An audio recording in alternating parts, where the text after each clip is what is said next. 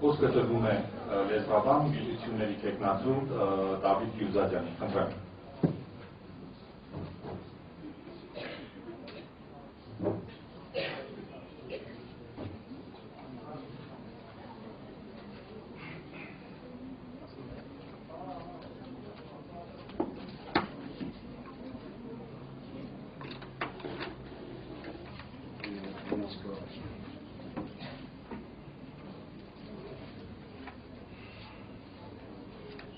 առաջարկությունների ցանկեր։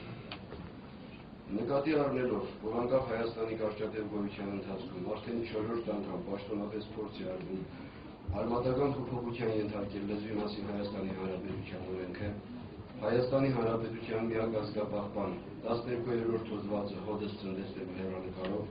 որն այլ բան չէ, եթե ոչ պետականն են դատուր, բարձրաստիճան պաշտոնյաների ձեռքով իրագործվող սաբոտաժ ընդդեմ պետության այլև այն, օրենքի փոփոխության նախագծման բոլոր փորձերին ու գործողություններին անմիջականորեն մասնակցել ուղղորդողի եւ առաջնորդողի դեր է ունեցել կրթության եւ գիտության նախարարությունը, ինչպես նաեւ այսուհետև ներգրմիշտ բացառելու համար մեր սահմանադրությունն ու ազգային արժանապատվությունը ոտնահարող որևէ սանձարձակ փորձի հնարավորություն անգամ Հայաստանի բոլոր ազգաշխարհ կառույցներին ու կազմակերպություններին, ազգի լրագրողներին, ազգանվեր անձանց առաջարկում են միասնաբար սկսել դատական գործընթաց ընդդեմ Հայաստանի Հանրապետության կրթության եւ գիտության նախարար Արմեն Աշոտյանի ի խնդիր նրա ներկայացրած ազգասպան օրինագծի եւ իր ելույթներում հայոց արժանավորությունը ժամանակ առ ժամանակ վիրավորող ամբարտավան ձևակերպումների։ Երկրորդ, անվստահություն հայտնել Հայաստանի Հանրապետության կառավարությանը Տարժական գրագիտության մակարդակն իսկ չապահովող հայադավ ու հակապետական օրինագծին հավանություն տալու եւ այն պաշտոնապես շրջանառելու համար։ Երորդ, կոչ անել Սփյուռքի հասարակական կազմակերպություններին, ազգային կուսակցություններին, բոլոր նվիրյալ անձանց, հայահոց պետությունների հայկական դեսպանատների առջև կազմակերպելի տևական ցույցեր, մինչև հայրենական համարված իշխանությունների լեզվի եւ կրթության մասին խայտարակ օրինագծերը շրջանառությունից անդարձ հանելը։ Չորրորդ, լեզվի տեսչությունը, գիտությունների ազգային ակադեմիան, Մաշտոցի անվան մատենադարանը, բարձրագույն որակավորման հանձնաժողովը դուրս բերել կրթության եւ գիտության նախարարության կազմից վերջին երեքը վերակազմավորելով որպես Հայաստանի Հանրապետության կառավարությանն առընթեր մարմիններ, իսկ լեզվի տեսչությունը անկախ երատեսչական մարմին։ 5-րդ Լեզվի տեսչությունը, ԲՈՀ-ը, կրթության եւ գիտության նախարարությունը, մշակույթի նախարարությունը համարել ապակուսակցական գերատեսչություններ, դուրս բերելով նաեւ քաղաքծառայության ենթակայությունից։ 6-րդ Նշված մարմիններում ղեկավար պաշտոններն ազգի մարդկանցով համալրելու նպատակով պետական թույլտվությամբ, բայց ոչ մասնակցությամբ, ստեղծել հեղինակավոր մտավորականների խորհուրդ եւ պաշտոնադրումը հաստատել միայն այդ խորհրդի դրական եզրակացությունից հետո։ 7-րդ Սույն թվից սեպտեմբերի 1-ից Հայաստանի Հանրապետության Սահմանադրության եւ լեզվի օրենքի խախտումներով ռուսական դասարաններում սովորող բոլոր հայ երեխաներին տեղափոխել հայկական դասարաններ պետական ու հասարակական հետևողական հսկողությամբ պատասխանատվության ենթարկել պաշտոնատար անձանց եւ այն ծնողներին, որոնք փաստաթղթային կեղծումներով ազգային այլ պատկանելություն են ապահովել իրենց երեխաների համար։ Եսաջանյան Բելայի հայտարարությամբ 10000 հայ երեխա այսօր սովորում է այդ դպրոցներում։ 8-րդ Լեզվական կրթական ոլորտում բացառել համաշխարհային ֆինանսական բոլոր այն աղբյուրներից կատարվող սենությունը, որոնք որոնք ֆինանսավորումն իրականացնում են ի հաշիվ մեր ազգային արժեքների նվաստացման ու վարկաբեկման։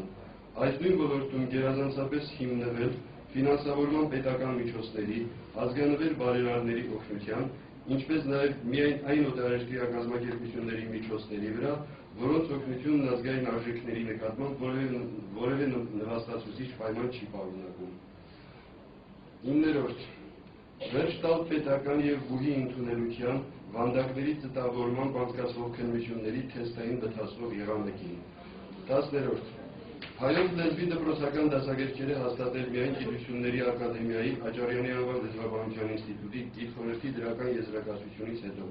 Իդեպ հատուկ շնորհակալության այդ ինստիտուտին առաջին կազմակերպությունն էր, որ պաշտոնապես հայտարարության հանդես է եկել։ 11-րդ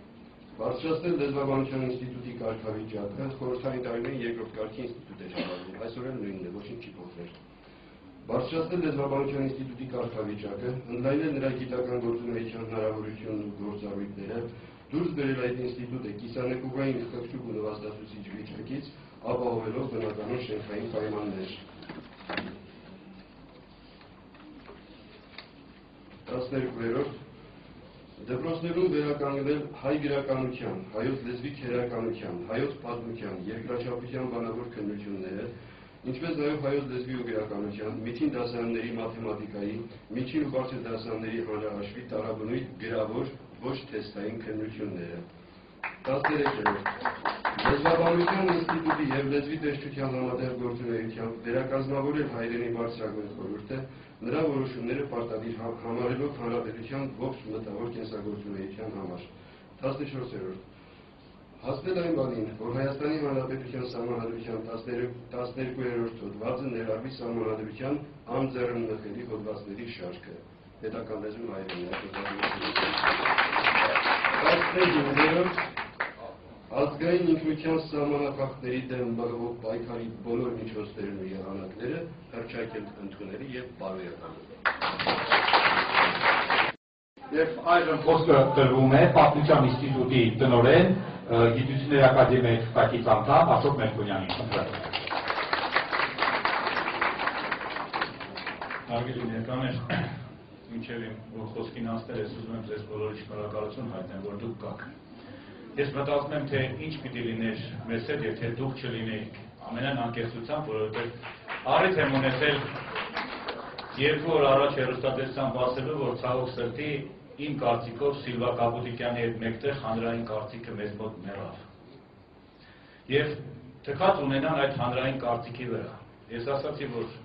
ունենք հանրային խորհուրդ, բայց կարծես թե հանրային կարծիք չունենք։ Ես հրաժարվել եմ այդ խորհրդի կազմում լինել եւ ուրախ եմ, որ գոնե այս անգամ հանրային խորհուրդը մեծ է։ Երբ որ ժամանակին ասում էինք այդ չարաբաստիկ արձանագրությունների մեջ ծայրից ծայր նախապայմաններ կան, ազգային ժողովում ես նույնիսկ մի քանի խավացներ վերեցի, որոնք որ ուղղակիորեն թուրքերը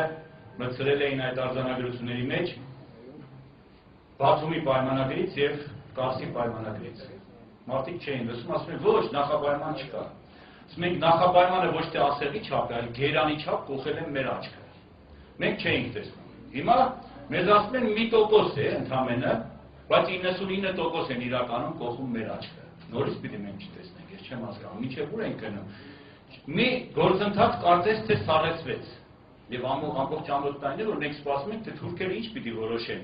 Թուրքերն ուզեցին փաստորեն այդ արձանագրություններին կյանք կտան, չուզեն, ուրեմն վերջացավ։ Ամբողջը տվել եք թուրքերին ֆուտբոլային դիվանագիտության մեջ հիմա 11 մետրանոցը թուրքերը պիտի հարված